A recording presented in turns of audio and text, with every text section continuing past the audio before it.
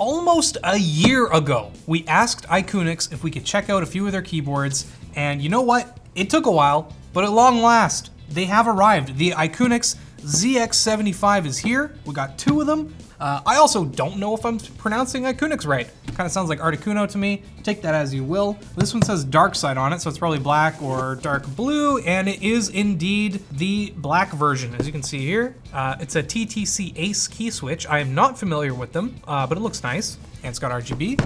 And this one is, oh, it's green. Very cool. This one's also got a TTC gold pink. Looks very pretty. I'm actually really excited for this.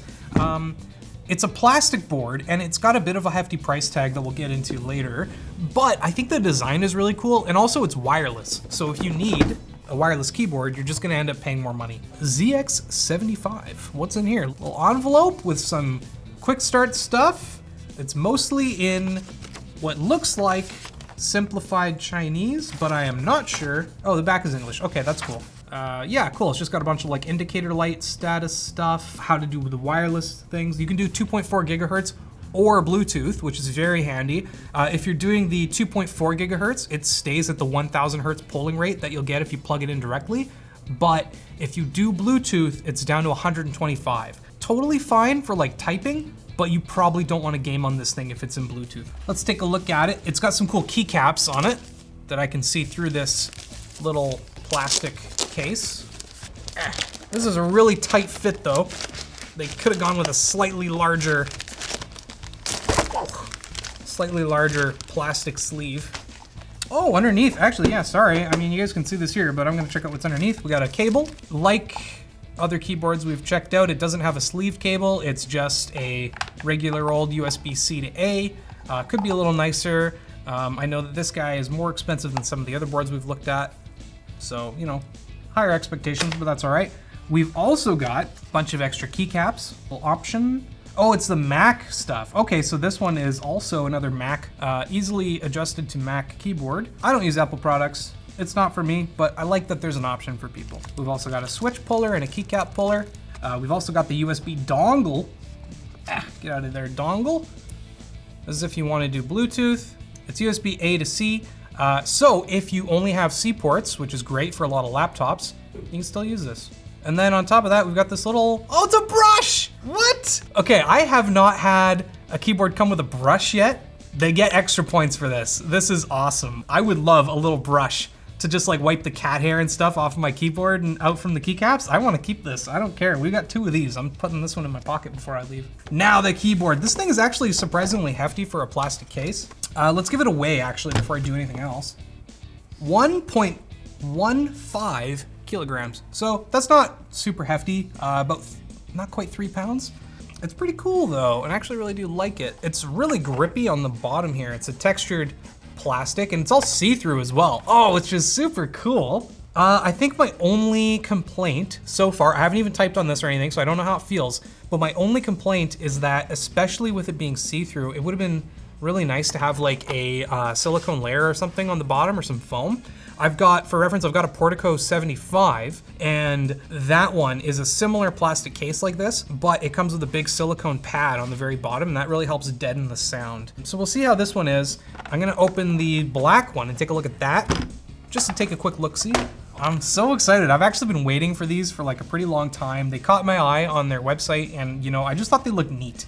They've got this really kind of retro design. I don't know if this is an actual speaker or not, but it looks like a little speaker port. Uh, it's got a plastic knob on it. Nice and tactile, I like the sound of it too.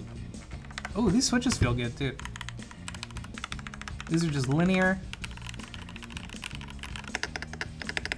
The spacebar could sound a little better. It's a little hollow. But overall, I actually really like how it sounds. And uh, you're getting 81 keys. It's basically, it's a 75%, so you're getting your F row still, which is really nice for a lot of people.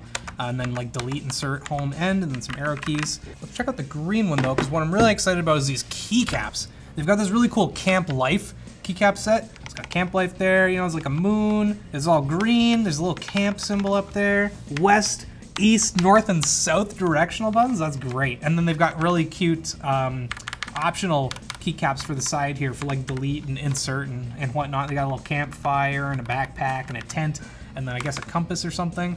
I don't know. I just think it's a cute keycap set. I kind of want this too. Uh, I Ooh. I like these switches more. The spacebar could be improved on this one as well. Um, I don't know anything about the stabilizers in here. They're, I'm not sure if they're clip-on or screw-in, and I can't quite see them. So they might be clip-on. If I'm wrong, I'm sorry. It's just really hard to see through this board. Either way, they sound pretty good. These are definitely better than a lot of like manufacturers that you'd get, like Corsair or Logitech or something.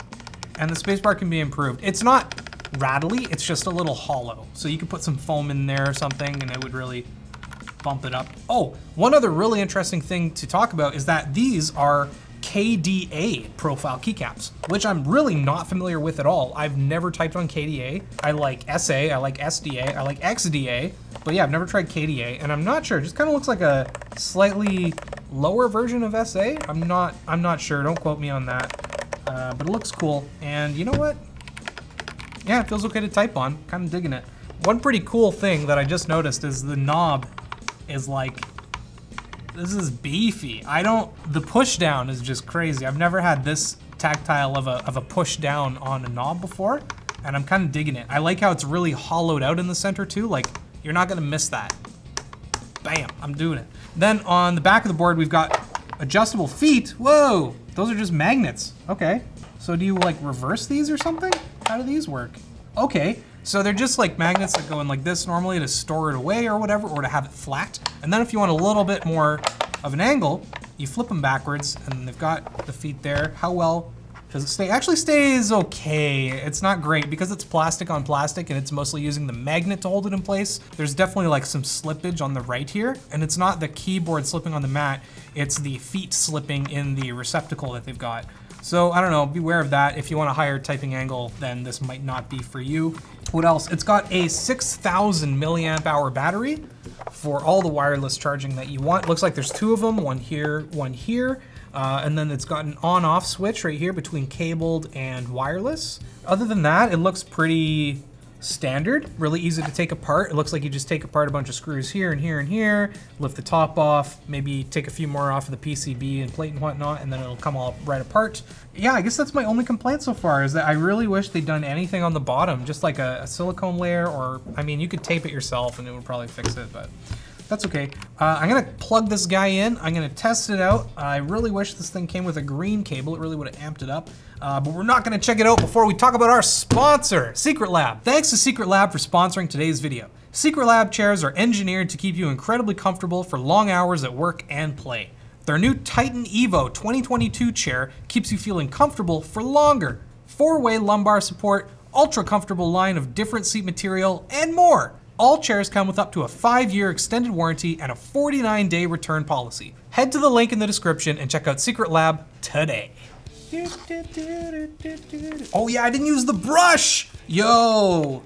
That's it. That's all you need it for. You just gotta get in those cracks and crevices, brush off your keyboard, you know. I'll be... Anyone's probably laughing at this right now, but honestly, for any pet owners, um, or someone working in like a dusty environment. I don't know why it would be dusty, but maybe it is. This is great. I would absolutely just brush my keyboard down once a week or something if I had something like this. Uh, I was not kidding when I said I'm gonna try to steal it. Wow, look at that. It's see-through and you can just barely see the RGB lights on the back of this thing. Cool. Uh, on the front, it actually looks pretty good. I like the shine through on the sides and in between. These are not uh, double shot PBT, but uh, they are using like 100% PBT, so they feel pretty good. On oh, does it say double shot on them? The keycaps that we've got on the black one are double shot PBT. These are dye sublimated and it still looks pretty good. I actually really like the feeling of it, both the quality of the keycap material as well as the uh, KDA. Oh, I just realized KDA is like kill death's assist. Eh, cool, all right, sweet. That doesn't really matter, but just neat. Um, I'm gonna type on it now, you know, as I like to do. I like, I do like this board. I don't know if I'd pay the price for it, but I like it a lot. Especially the camping motif and like the whole like green aesthetic that it's going for. I really dig it. Uh, okay, let's go. Oh, I screwed this up already. Okay, I'm keeping this one. I get one mulligan. Oh no, this is bad.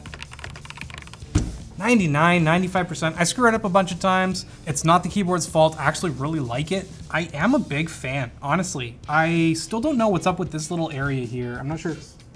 It's just looks, it's just aesthetic.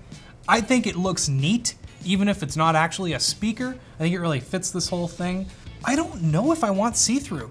To be perfectly honest, I actually really do like the whole see-through thing, and I'm kind of upset that it doesn't happen more frequently, but I, I think with the solid green on the keycaps, I would actually prefer a solid green plastic shell for this thing. Otherwise though, it's great. I, I like the look of it, I like the feel, I like the typing experience.